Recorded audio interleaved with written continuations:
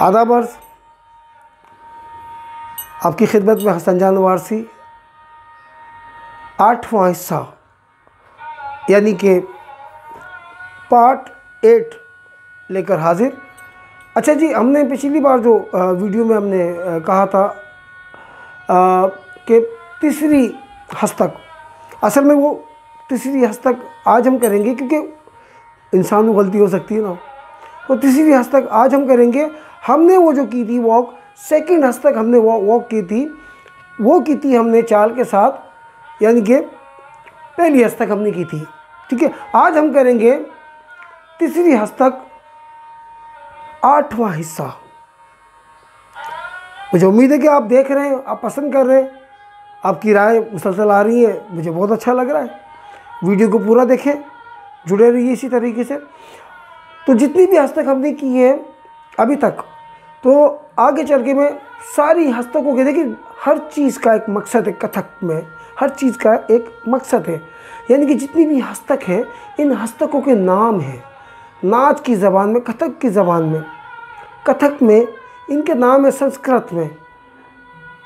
स्थिर, पुष्पक उद्रव हस्त चक्र उद्र हस्त पलट उद्र हस्त चक्र तो उसी तरीके से हम इसे जब आगे चल के, क्योंकि मेरा मकसद है आपको आसानी से बताना कि आसानी होगी तो आपके लिए बेहतरीन होगी, क्योंकि हर चीज़ की एक हालत है, एक गत है, एक पोजीशन है।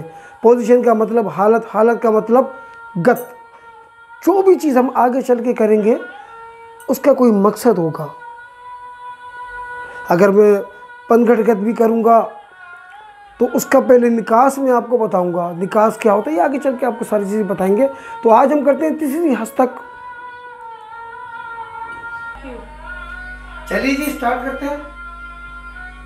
तीसरी हस्तक, कि मेरा हाथ ऊपर जाके वापस आएगा। अब लेके कैसे जाना ये हमारी पोजीशन है। शेप हमारे पैरों का वही वी का शेप है।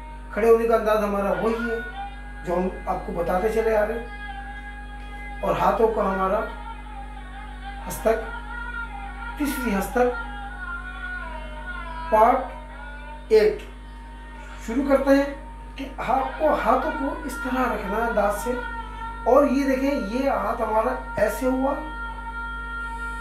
एक, दो, तीन, चार, एक।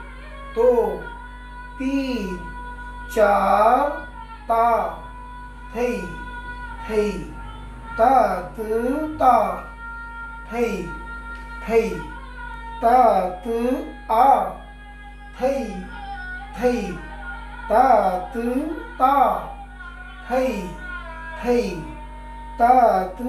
इन हाथों को आपने मुसलसल जो आपकी आँखों का देखना है विजन आई कांटेक्ट वो खत्म नहीं होना, ये देखिए मुसलसल मेरी आँखें, मेरे हाथ को ही देख रही है। मेरे हाथों को देख रही है। इस हस्तक को, मैंने बताया आपको कि आगे चल के सबके नाम बताऊँगा। हाथों की हस्तक, क्योंकि हर चीज़ की एक पोजीशन होती है। अब मैं इसको आपको चल के दिखा रहा हूँ वॉक के साथ। कि वॉक के साथ इसको कैसे करना है? और से देखिएगा, हाथों को देखें, पैरों की पोजीशन आप देख चुके हैं, लेकिन आप फिर भी पैर भी देख लीजिएगा। और मैं जब चल रहा हूँ तो देखिएगा हाथ और पैर, अंदाज मेरे खड़े होने का वही वी की शक्ल वी का अंदाज वी का शेप शुरू करते हैं जी। एक, दो, तीन, चार एक, दो, तीन, चार, एक, दो, तीन, चार, एक, दो, तीन, चार। तो नाजरीन, ये था हमारा आठवां हिस्सा, पार्ट एट, तीसरी हस्तक, चाल के साथ और उम्मीद करता हूँ कि आपने गौर से देखा होगा। पूरी वीडियो देखिएगा। नवे हिस्से के साथ पार्ट नाइन के साथ आपकी खिदमत में हाजिर होऊँगा। वीडियो को लाइक करना ना भूलिएगा। आपकी हौसला अफजाई हो रही है। और जिन लोगों ने अभी तक मेरा चैनल सब्सक्राइब नहीं किया है तो उनसे मैं गुजारिश करता हूँ कि सब्सक्राइब कर लीजिए। क्योंकि क्योंकि अब जो मैं क्योंकि प्योर कथक तो हमारा चल रहा है। उसके बाद ये हमारा से, है सीज़न वन सीज़न टू हम जब शुरू करने जाएँगे, आइंदा वीडियो में बहुत जल्द मैं अपनी शशि अपनी स्टूडेंट के साथ भी करूँगा। और उसमें हम बताएँगे आपको कि गीतों पर गज़ल और ठुमरी में किस अंदाज से करते हैं, किस तरह बैठते हैं, उठते हैं, हाथ कैसे जाएँगे, कैसे आएँगे, कहाँ देखना है, कितना देखना है, वो आपको बताऊँगा। जो जिन लोगों ने सब्सक्राइब किया, सब्सक्राइब कर लीजिए और बेल आइकॉन बटन को दबाइए। अगर आप चाहते हैं कि मैं आपको नज़र आऊँ, देखते रहिए। हसन जान कथक।